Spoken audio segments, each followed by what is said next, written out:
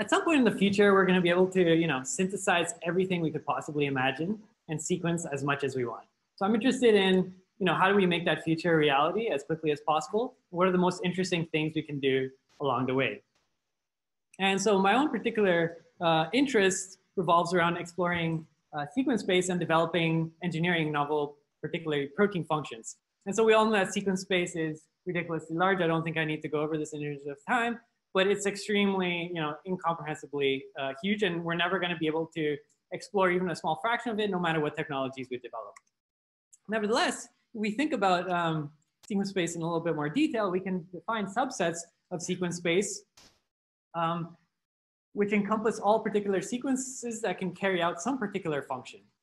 We can further subset that uh, for functions which exist in nature to um, the area which you know natural um, uh, systems have already explored, and an increasingly large subset of that, which we've seen through primarily metagenomic sequencing.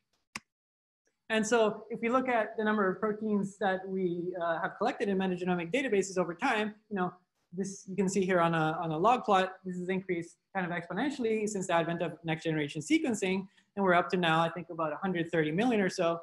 But there's this huge experimental gap now in terms of what we know um, in terms of functional characterization of each of these proteins. And you know, while bioinformatics can help us close some of that gaps, there's major protein families such as receptors and transporters where you know, a single point mutation can completely alter ligand or substrate specificity. So without actually going in and doing the experimental characterization, it's very difficult to actually map out all of these um, sequence function relationships. And so in addition to that, even for sequences which have the exact same function, so here I'm showing um, the distribution in terms of percentage identity for a whole bunch of groups of orthologs with the exact same function. So even within sequences that catalyze the exact same function, there's huge diversity.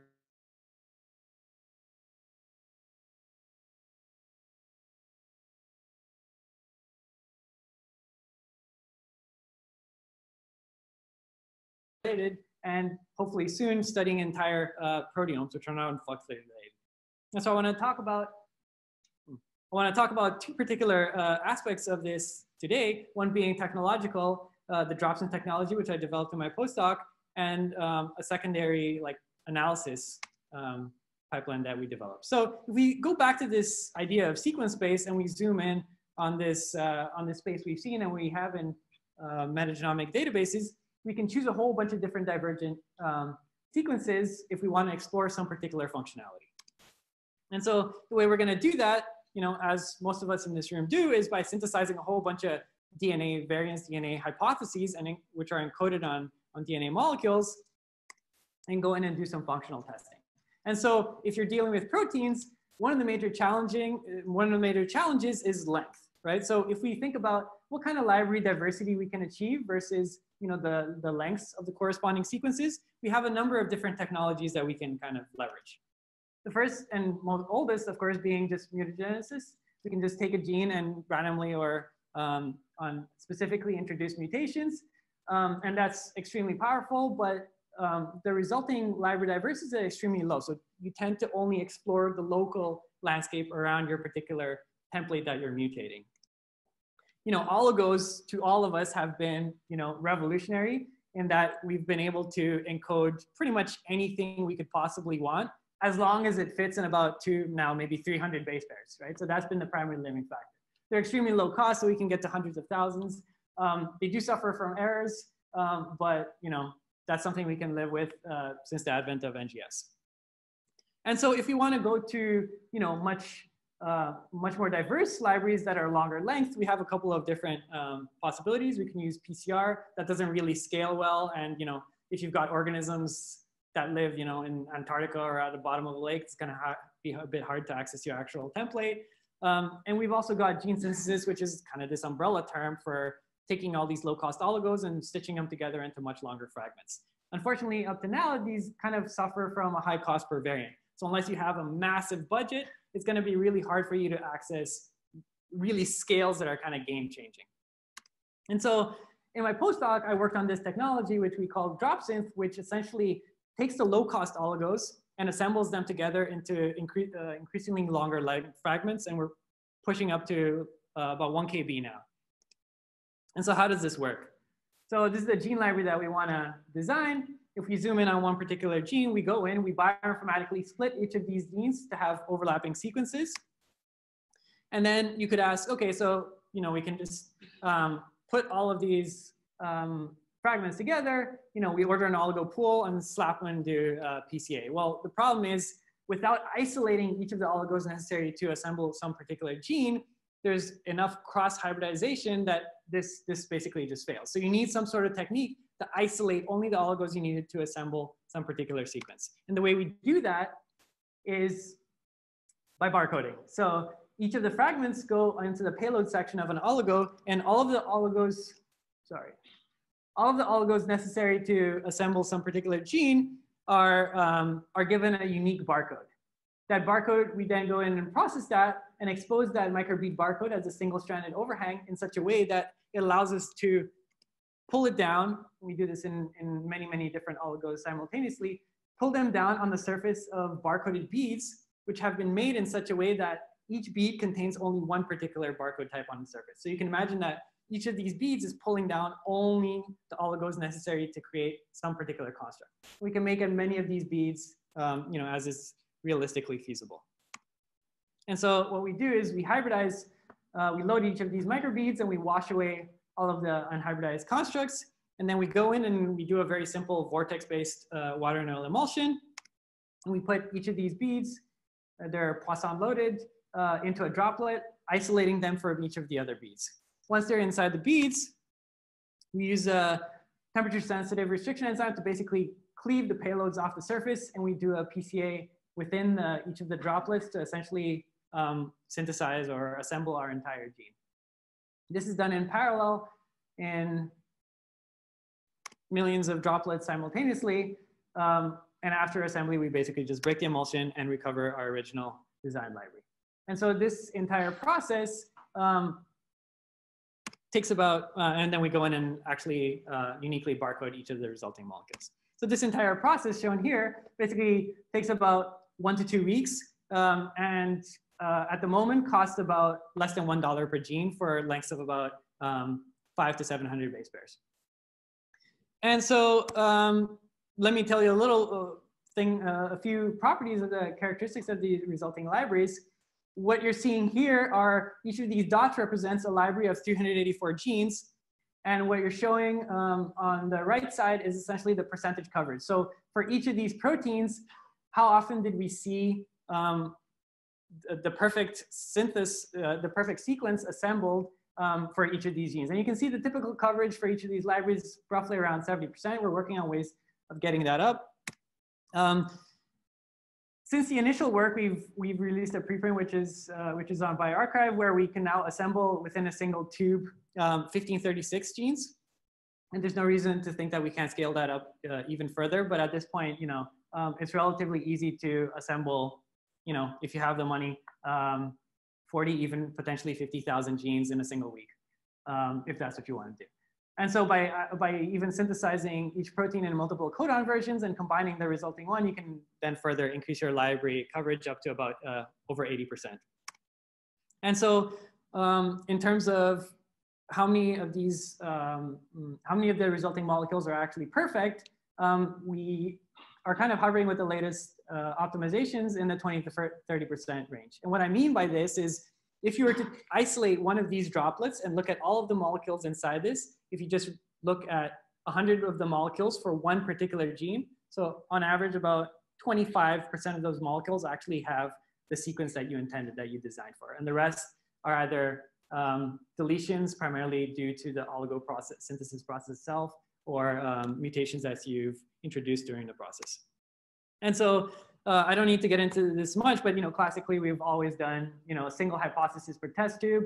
Multiplexing has really allowed us to switch over to you know many hundreds of thousands of variants per uh, per test tube using barcodes to do NGS readouts. And so we're going to couple these libraries into these uh, into these multiplex assays. And as a proof of concept, since I'm kind of limited in time today, I'm going to talk about um, one protein family, uh, PPAT, which is um, an enzyme found in all living creatures in the uh, coenzyme A biosynthesis pathway. And what's interesting about this particular enzyme is that the bacterial versions have extremely low homology to the, to their mammalian counterparts. So it's interesting development for uh, potentially antibiotics.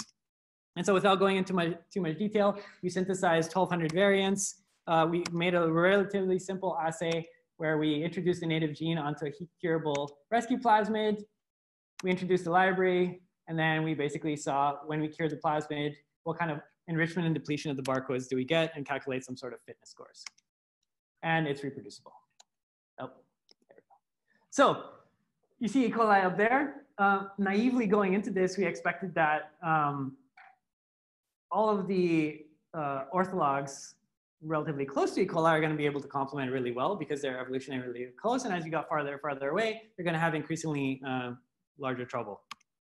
And so that's not what we saw at all. And so the two take home points from this plot being that um, red and orange sequences complement very well and the black sequences basically drop out of the population is that over 70% of the, the homologs taken throughout the entire phylogenetic tree were able to complement just fine. And the ones which dropped out are not really clustered into clades at all. So, right, so they're just dispersed throughout the entire tree. And so this kind of sent us down the rabbit hole of a whole bunch of different experiments and um, um, to try to figure out what is actually going on here. And so that's um, brings me to the kind of the second part of what I want to talk about was that um, if you didn't think deep mutational scanning was hard enough, we wanted to make it even harder by using um, this fact. So as I mentioned earlier, there's a lot of errors in our, in our libraries. And so in the initial um, implementation of DropSynth, a lot of these errors were low distance away from your design variant. And you can think of these as a, as a very shallow mutational scan around each of your points. And so yeah, the rest of them being frame shifts primarily due to deletions, but about 30% of the data is actually usable mutations. And so you can imagine we previously had explored sequence space like this, and now we're gonna explore local space as well around each of the design variants. And so um, make a long story short, um, we're primarily used to these heat maps from deep mutational scanning where we have um, the, the potential fitness score for every amino acid at every position we've now added another dimension onto this where we've taken all of these uh, homologs and then we've aligned them together and then we've put that in as, as another dimension. And so I do want to say that I think alignment um, does remove a lot of very interesting functionally competent solutions that you know don't align very well. So we have to kind of discard those for now until we have better ways to analyze it. Nevertheless, we're able to do two interesting things with this. So we're able to split this into two. The first being uh, a loss of function matrix. So we looked at the sequences which complemented and which had mutations which primarily caused loss, loss of function. And for those, yeah, we, we took only high fitness homologs and we collapsed along the homolog dimension. We took each point by point and we basically could build um, build it up column by column, row by row, and build heat maps like this. And so unlike uh, deep mutational scanning heat map, each of these points represent the, the impact of this amino acid at that line position collapsed onto the reference E. coli for many, many, many different contexts, backgrounds that all catalyze the exact same function. Uh, and so without going into this in too much detail, we see um, the traditional, you know, um, conserved, uh, highly constrained mutations around the catalytic site and very interestingly, uh, very promiscuous regions around certain other regions which are um, in at least E. coli known to interact with some of the substrates. And so I don't have time to jump into this in too much detail, but we can further subset this and you know jump into the into the 3D matrix a lot more, and we can divide that into um, different types of mutations. And so each of these points is showing essentially um, the mutation listed on the bottom at that aligned position on a different ortholog background. And so you see that we can divide, divide them into primarily loss of function mutations. So no matter what the rest of your sequence is, you know, you're getting a loss of function primarily at highly conserved sites neutral mutations, and by far the most interesting is these highly variable mutations. So depending on what the rest of the context is, it could be gain or loss of function or completely neutral, which are extremely hard to predict a priori from sequence alone. Um, and so I think an even more interesting in my limited time now is uh, looking at the gain of function matrix. So what we did there was we took the homologs which are not able to complement at all, and we asked, can we find any mutants for them which actually restore function? And um, if you collapse it along the two dimensions, indeed we did. We saw um, gain of function mutations actually clustered at eight, uh, at eight positions along the surface of the protein. And it turns out that um, those mutations actually clustered if you project them onto the um, onto the structure, including in distant uh, beta strands, which kind of pointed to um, an actual functional uh, interpretation of, of this, which given other um, experiments which I don't have time to talk about, uh, led us to believe that primarily the dropouts are being caused by protein-protein interactions, which given the fact that we've taken these enzymes from other organisms have not been evolutionarily screened against when we plug them into E. coli, uh, among other issues. Um, and so, yeah, this work was done in uh, the Kasturi lab when I was a postdoc. I'd like to thank um, Angus, who helped me a lot, um, and Nate as well with, uh, with bioinformatics. I've now got my own lab at the University of Oregon, and I'm recruiting at all levels. And if you're a postdoc interested in uh, tenure track positions, we're opening up dozens um, at the night campus, so come talk to me. Um, yeah, lots of research topics happy to take your questions. Um, there's a workshop tomorrow if you're interested in more nitty gritty details, which I conveniently neglected to mention today. Yeah.